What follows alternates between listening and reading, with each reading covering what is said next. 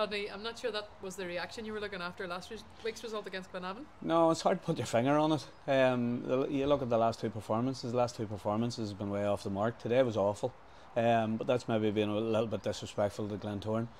I thought Glen, Glentoran have, have good players in every position throughout the squad. Um, today they showed that, but I felt we contributed towards it because we allowed them to be. Um, we didn't get in their face. We didn't work hard enough. We didn't do all the basics right.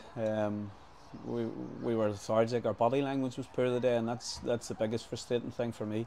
Um, whenever I look at our performance here a short while ago at home to Cliftonville, which was up and at it, um, playing the front foot, defending the front foot, attacking the front foot, all those things, um, till what the performance was today, it was to say it's hard to put your finger on it. Um, we've went we've went from a group of lads who look as if they've really enjoyed their football till in the space of two performances we, we, we know we have to improve.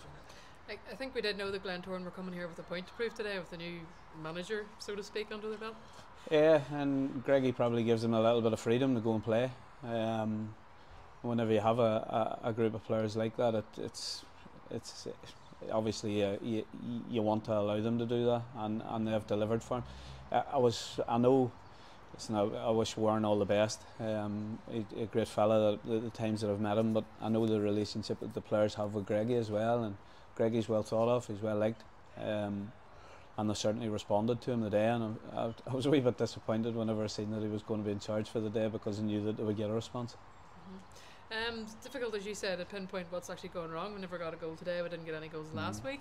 Um, We've cre- we're creating chances. Um, today in the first half, we, as bad as we were in the first half, we had, we had two great opportunities to score.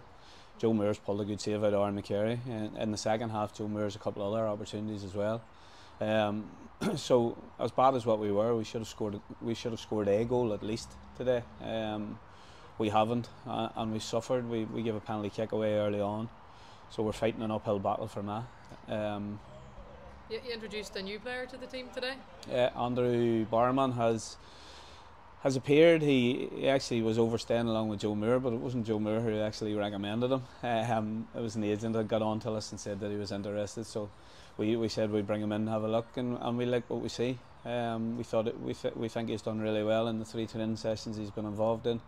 Um, we wanted to have a, a better look at him, and he wants to have a better look at us. So it made sense for us to, to sign him to the end of the season and, and, and listen hopefully he, he turns in the performances that we'll we'll be looking him to sign a new contract ASAP.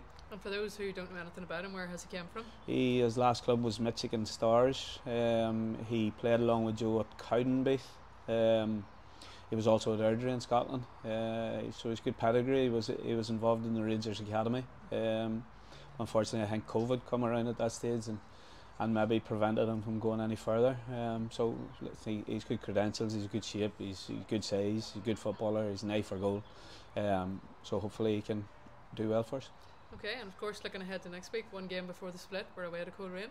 Yeah, which is obviously Coleraine still trying to secure their top six place. Um, we have to try and get we have to focus on ourselves it's for us next week it's not about any other club it's it's about Dungannon Swifts and it's about us as a changing room and it's about us as a group of staff and group of players all pulling together to try and to try and turn two poor performances around and, and get back to what we were doing before that.